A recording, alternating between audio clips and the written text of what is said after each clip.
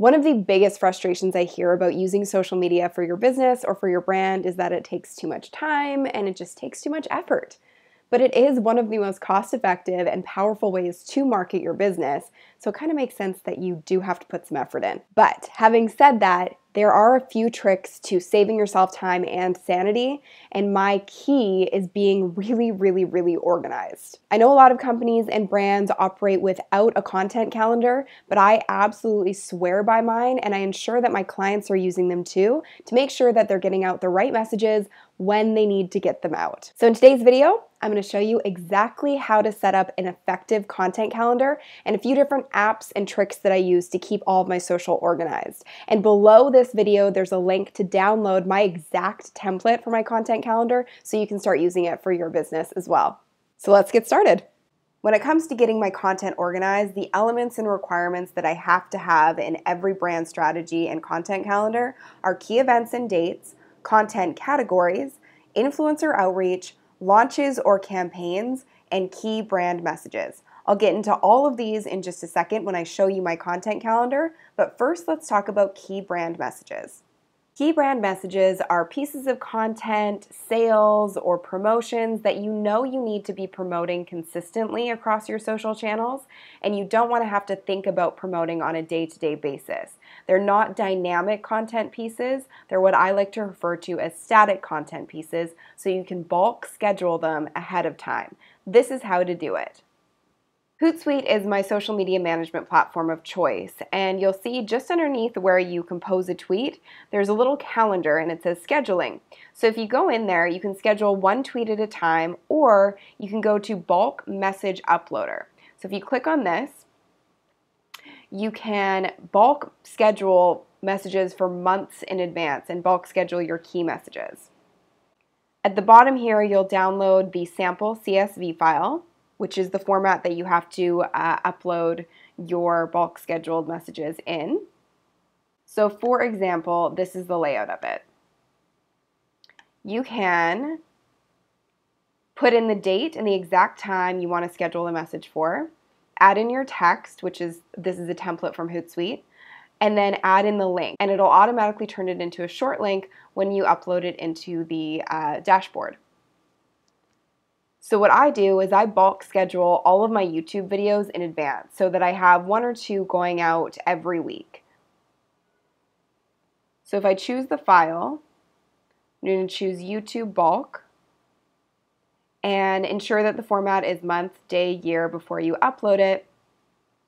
And when you submit it, it'll show up in your scheduled messages. As you can see, I have a ton of scheduled messages here and they're all key brand messages that I've scheduled using the bulk message uploader in Hootsuite. Now for the content calendar. A few things to keep in mind. Everybody's different and everybody's platforms are different, so you can tweak this to your liking and which platforms you use most often. Also, keep in mind that I don't plan out every single thing that I post. Like I said before, this is for the main messages that I know need to be out in a timely manner and things that are important to the brand or to sales to be pushing on social. I do still leave a lot of room for being spontaneous and for live social interactions as well. Here's a look at my content calendar and how I lay it out. So you can see that I have my main platforms in here and this is where I populate the content that's going to be going in for the week. So Facebook, Twitter, Instagram, LinkedIn, and YouTube. So I have my notes on the far right hand side, so that's anything that I might forget about what's going on during that month. My categories breaks down my content uh, into different uh, categories to make sure that I'm not continuously posting the same things over and over again.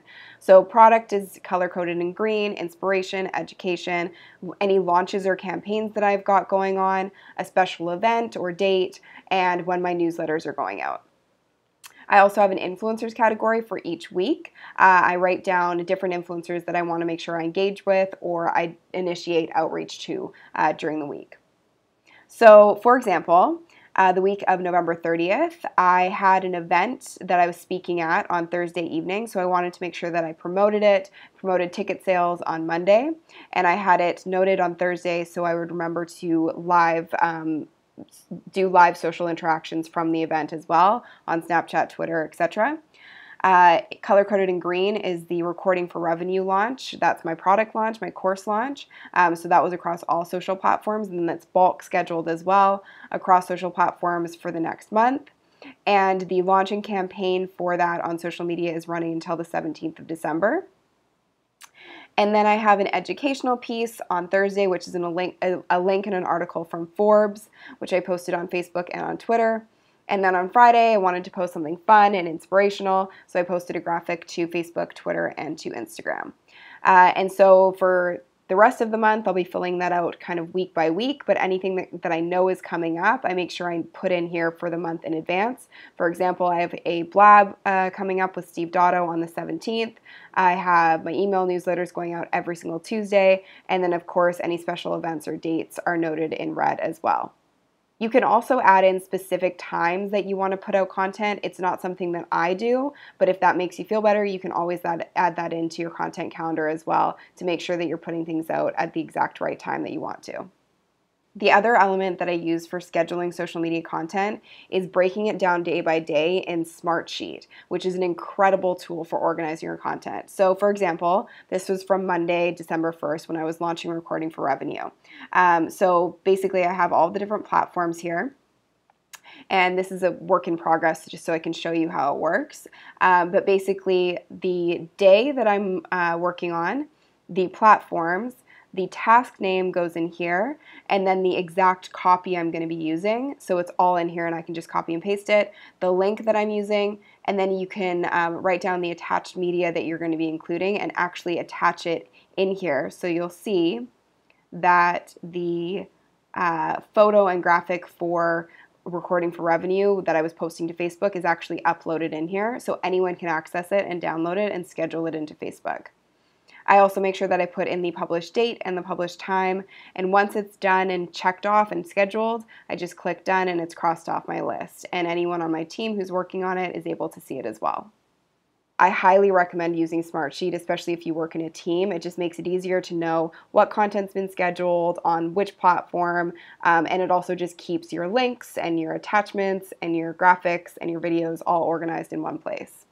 I also use Latergramme to schedule my Instagram videos and my Instagram photos, and I rely on Facebook natively to schedule posts and photos and videos to my brand page.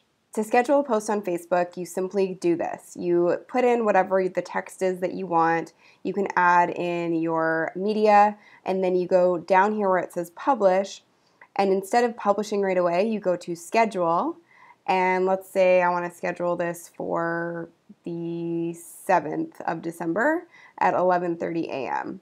And then you schedule it. And you'll see that it says there's one scheduled post. You go into your publishing tools, into scheduled posts, and you'll see that it's right here. And then you can make any edits that you need to. You can reschedule it, um, you can delete it, and you can also edit it if you go into this view here. If it's time to get your social organized and to save yourself a little bit of time and sanity, like I said, then make sure you download my content calendar below this video and start using it for your business. I've also put some other tutorials that will help you get organized when it comes to your business below this video, and I've put links to all the websites and the apps that I mentioned in this tutorial. If you like this video, hit the like button below, subscribe, and share it with your friends. And if you want exclusive tips and tricks that I only share in email, make sure that you subscribe to my weekly emails. The link is below this video. Thank you so much for watching, and I will see you guys next time. Happy organizing!